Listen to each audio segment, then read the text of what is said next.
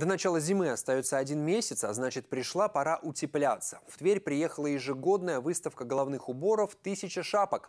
Производители из разных российских регионов предлагают покупателям огромный выбор головных уборов. Основной сегмент представленных моделей – это изделия из меха. Подробности в нашем следующем сюжете.